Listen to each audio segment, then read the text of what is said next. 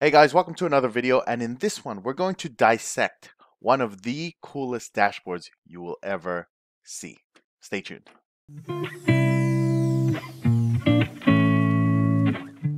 Okay guys, here we are back again and just a quick update. As you know, I've been working on the course a lot and I was actually working on the stories section of the expert. So I thought I was going to already add a few things in. Um, so if you haven't see it, uh, seen it, please check the description below. There is almost 40 hours worth of training content. So if that's something you're interested in, check out the website. And I was working on some story videos. And one of the really cool stories that I remember um, was this one right here. So let me show you guys that. It's this one. It's the KPMG Global Executive Survey. And I can't remember if they did one that's 2020, 2021 or something like that. They're all kind of the same thing anyway. But what's really cool about this is it really showcases what you can do with stories. And that's what we're going to talk about in this video. And in particular, I'm going to show you something else that's very interesting, which is you can take very basic elements of Tableau bar chart, dual axis, maps, that kind of thing. And if you style it and brand it in a certain way, it can really elevate your designs to something like this. And it sometimes makes you go, it's like, damn, was that really made in Tableau, right? So really impressive. And what I'm going to do in this video is I'm going to break down all the things you have to do and maybe even do a few small demos on how they were able to achieve some of these designs. And it's going to be so shocking as to how simple some of them are. All right. So starting with the front page, and also if you want to check it out, I'm going to leave a description. I'll leave a link in the description below for this.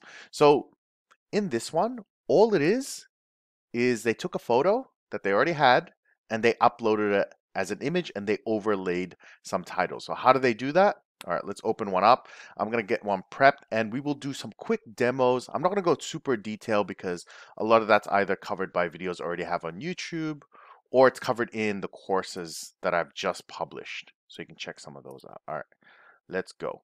And I'm going to clear a lot of these dashboards as well, just so we're not cluttered. Let's get rid of all this. Let's get rid of all this. Okay, so fresh one, and let's get rid of all this. Okay, there we go. So, how did they do this first page? Well, all you have to do is when you go to dashboard mode, you simply upload an image like so. Okay, choose an image. See, hopefully I got an image here. Yeah, let's say this one. Fit, center, just to put it on the whole thing. Now the trick with this, and actually probably doing it in floating is a better way to do it. So if we make that floating, and all you have to do is match these dimensions, right? So it's your actual size. So let's say I make this a little bit smaller, uh, make this a little bit smaller this page, the actual dashboard page. Let's say it's 1000 by 600. You simply have to make this one 1000 by 600. Oh, not 6000, 600. Okay, and you want to start this at position 0, 0. Now, the reason I'm going to have white here is because the image itself is not 1000 by 600. So what you want to do is either, uh, is, um, sorry, you want to make it so that the original image is these dimensions. You can do that in Microsoft Paint. You can crop it in some other tools if you like, but that's how you can do it to make them match. Now, I believe if I go in here uh, and we don't do center, or we don't do fit, it's one of them. There we go. So if you only do center, it will fill out the space that you have. So that's an, a, a neat trick. However, sometimes it may crop unintentionally. So you just want to be a bit careful with that. Then what they did was they simply took these text boxes right? And they overlaid the text just like that. For anything where it's it looks like graphic art, they most likely did that in a different tool. Like for example, the logos, and in which case that's just overlaying an image. Easy. But look how nice it looks. Okay, so let's look at the first one. Well, really the second one. All right, so here we've got a few elements. So a pie chart is pretty standard and they put the um, labels here. What isn't so standard is this part. See how they have a bar chart? So the bar chart's pretty standard, but they actually have two figures in here. They've got a percentage and some sort of number. So how do you actually combine two text fields? Okay, so let me show you how they did that. Super, super simple. Let's go. Okay, So say I have, um,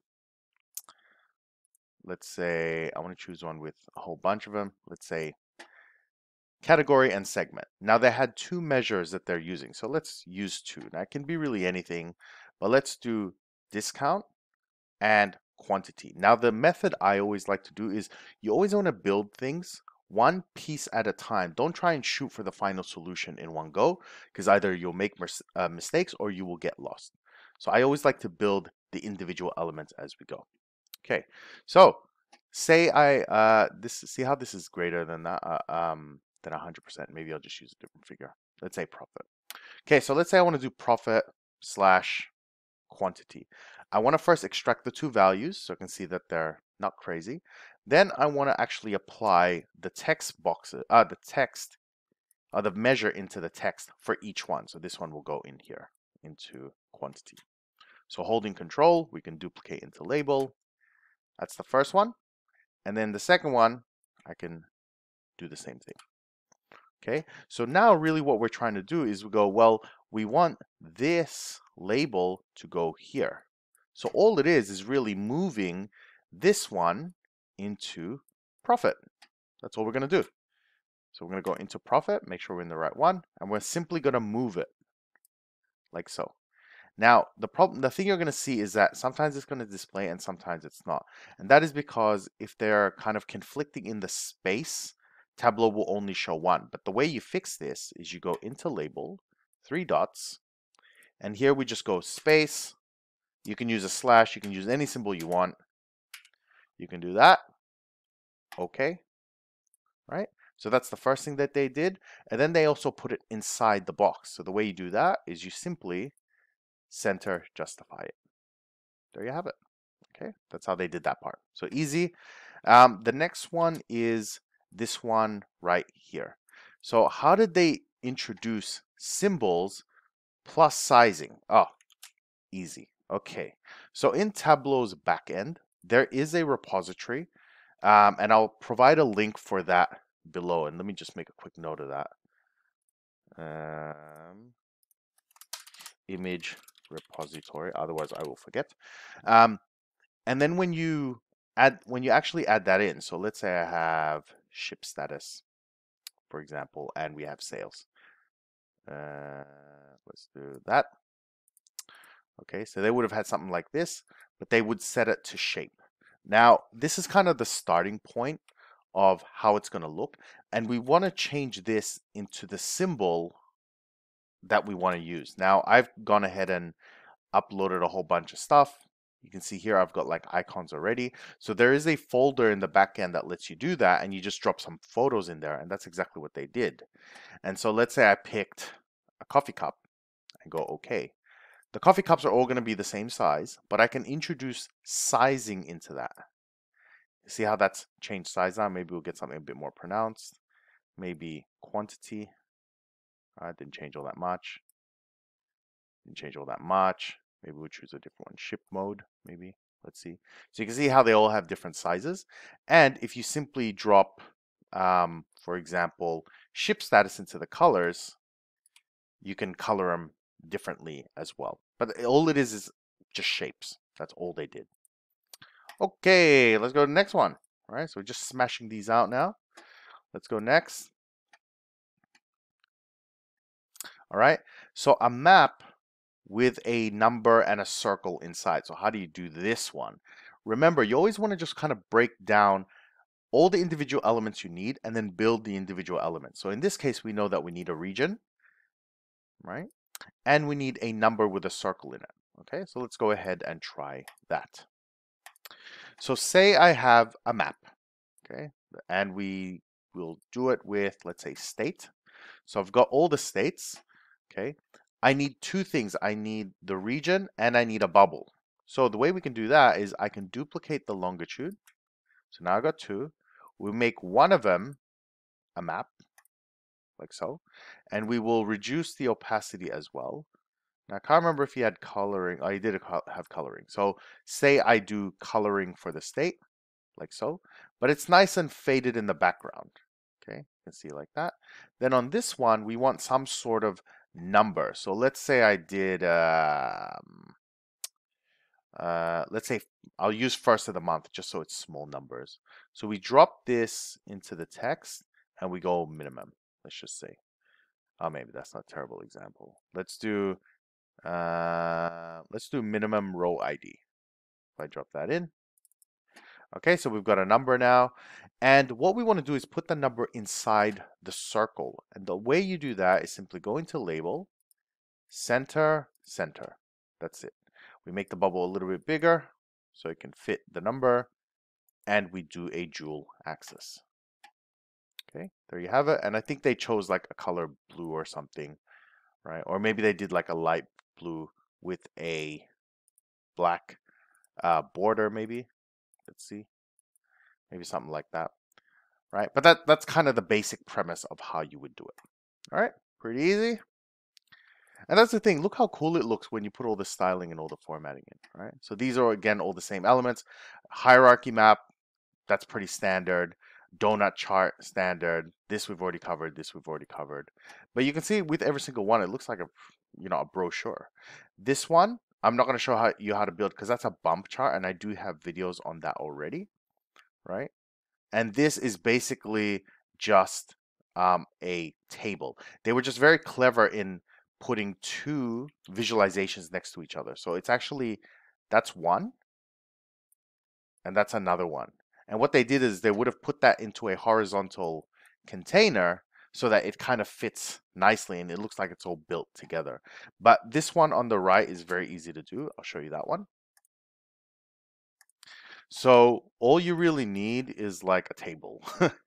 so let's say I've got subcategory and we want to show the value. So let's say we've got sales and we drop it into size. But I don't think he sized it. I think they, they put it into color right? So we do um, a sizing by color and then circle. That's it. We go large, okay? Make the bubbles a little bit bigger. So let's say I only had this many, okay? We have the bubbles, and then they had some sort of ranking, maybe. So if I'm going to do ranking, what I need to do is rank it off something. Let's say sales. I can go in here, quick table, rank. I've now got the rank value. I can drop that into text. Okay, we put that all in the middle. And now I also have rank and the value. Okay, we can color it by subcategory, right? From there, it's pretty basic. But my point is with all of this, a lot of the best visualizations, they use bar charts, they use line charts because those are very easy to read. That's a reason it's the standard, right? This thing, another bump chart, but really it's just a dual axis. I can show you that real quick. So say I have some sort of um, time period. Let's say we got months, maybe not months, let's do quarters, something like that. I've got sales and I have some sort of color. So let's say something like that. So the way you would do a line and a bubble is you just create a line and a bubble. So we duplicate this measure we convert one to a bubble or a circle, make it a little bit larger, okay, and we dual axis. Synchronize, right, make one a little bit faded, and you've pretty much got like a bubble line chart, if you will, right? All right, as you can see, it's very easy. And then, you know, just having little borders and shading and stuff like that. But that's all kind of basic formatting. This is just a stacked bar nothing crazy, a line chart. Let's do the next one. Same thing, right? Scatter plot with sizing. Sta again, standard. Okay, again, same thing. So as you can see, it's just about being consistent in your styling, understanding the positioning. This one's a little bit different, but this all this one is doing is a map. So we'll do another one. So let's say I have like postal code, right, with a lot of dots in it. They've simply just colored it with like a with another dimension, let's say category. Okay. Now, one of the tricks of if you have a lot of points is all about contrast and translucency. So, for example, if I look at this area here, see how the spots, uh, the dots can kind of overlap? One way you can deal with this is actually make them a bit transparent okay? And you can actually see how they overlay. If I do that, okay? Um, and then also, if you go into the map layers, right, just wash it out a little bit or maybe have a better contrasting map if you decide to kind of go down that route. Okay, we can go here. Maybe even make the bubbles a little bit bigger so you can see kind of where the overlaps are. All right. There you go. So there's nice, lots of little kind of tricks that you can do to really enhance it. Okay, maybe we'll do one more. That's just a scatter plot with shapes. We'll do one more and then we'll finish up. This one, okay, this one's a little bit trickier, but again, you got to break it down. You always think about it in terms of breaking it down. So you need a few things. You need a start position, an end position, and then a shape. So really this is a dual axis. So the first, and because I don't have any data that can do this um, setup, I'll just explain it. So if you get rid of the stars, right, just ignore that, what you really have is BMW in terms of a data set. It'll say BMW position one is that value there and that value. So you have your X and Y. And then position two, another row of data will be this point. And then in a column, you say what's the start position, what's the end position by just doing one, two, one, two, one, two, one, two for every single one, right? And then in your second one, you simply visualize just the star one, so the end position, and then you overlay and then change it to a shape, right? But again, always think about it in terms of what are the individual elements instead of going, oh man, that looks super advanced. I can't do that. All right. So I'll leave it there. Um, a little bit of a different video, but hopefully you guys can see kind of how easy a lot of these more advanced dashboards are. They're just kind of misleading to the eye. So again, hope you guys enjoyed. Um, check out the course. It's really coming along, almost 40 hours of content. Um, links are in the description. Thank you guys again, and I will see you next time.